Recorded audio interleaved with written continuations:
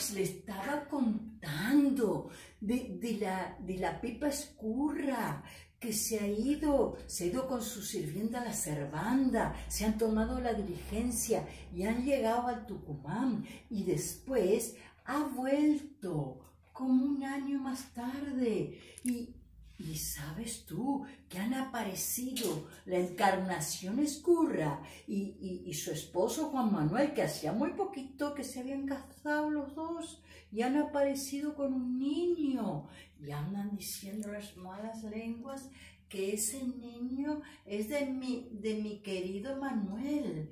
Mm, pues, em, ay, yo desesperada fui le preguntado, Manuel, has tenido un niño con la encarnación.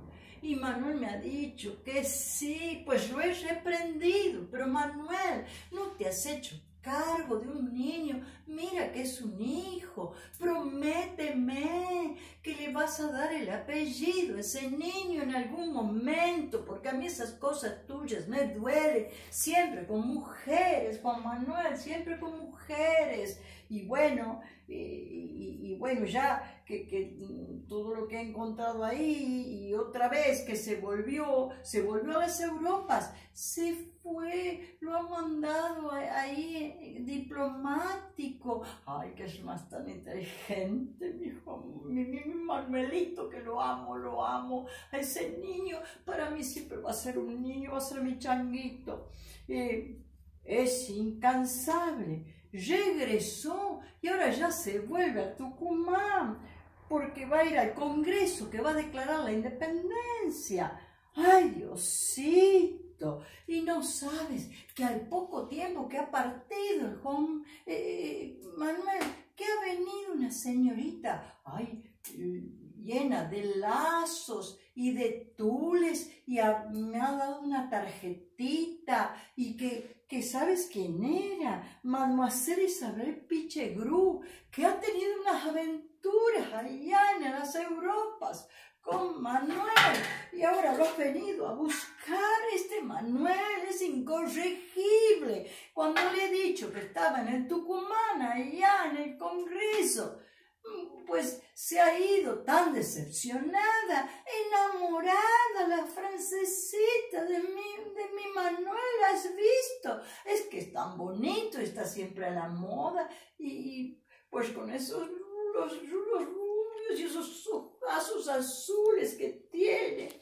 Y bueno, este Manuel que me ha enamorado a todas las mujeres. Y bueno, ¿y, qué va a hacer? Eh, hace poco cuando ha vuelto Manuel se me ha aparecido acá en la cocina, que yo ya sé, cuando se aparece a hablar con Olegaria, algo se trae para contarme.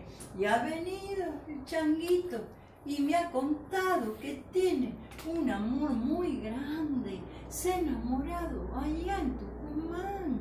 Se ha enamorado de la señorita Dolores Elguero. ¿Y qué va? que le ha hecho una niña. Pero este changuito es terrible, terrible. Se llama Manuela Mónica. Y le dije, changuito, no me vas a hacer lo mismo que con el hijo de las escurras. ¿Qué vas a hacer? Pues no, me ha prometido que se va a ir al Tucumán y le ha dado su apellido. Ay, pues Virgencita de la Merced, este Manuel es terrible, terrible. Ay, bueno. Eh, pero mi changuito no está bien. Yo lo veo tan pálido, se le hinchan las piernas y tiene fiebre al anochecer. Su hermana Juana, que es la que más lo atiende, y, y yo, que soy como la madre, estamos tan preocupadas. Ay, me ha parecido escuchar la puerta.